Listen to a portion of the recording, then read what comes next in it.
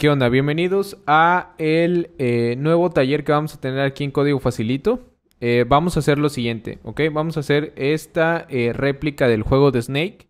Entonces, aquí ya inicié con el juego un poquito ya avanzado. Digamos que el Snake ya estaba un poquito grande.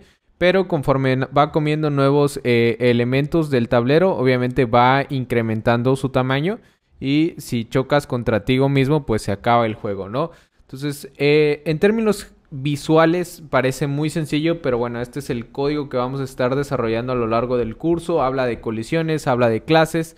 Nos va a ser muy fácil en tener objetos y creo que una de las partes más, más interesantes es el uso de recursividad. Entonces va a ser como que un ejemplo muy visual e interesante de cómo entender lo que es recursividad. Vamos a estar utilizando en dos partes cruciales del juego, eh, recursividad, para poder este, pues simular el juego, ¿no? Que es lo que tenemos acá.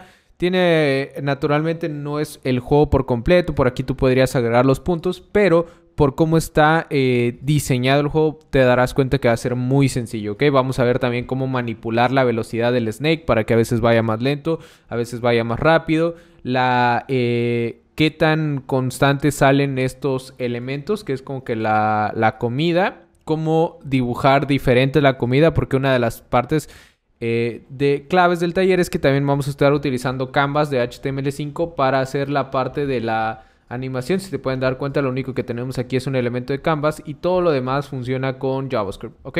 Entonces, el taller es el día primero de julio, eh, viernes a las 5 de la tarde México, 5 Colombia, 7 Argentina y a medianoche en España, ¿ok? Entonces aquí en la URL que también puedes encontrar en la descripción de este promocional, vas a poder ingresar eh, en el momento en que sea el taller y automáticamente te va a dar acceso. Lo único que necesitas es crear una cuenta en código facilito, ¿ok? No necesitas nada más para poder verlo en vivo, ¿ok? Entonces, eh, bueno, los espero el día primero de julio, ya saben, 5 de la tarde, hora de México, vamos a estar impartiendo este taller.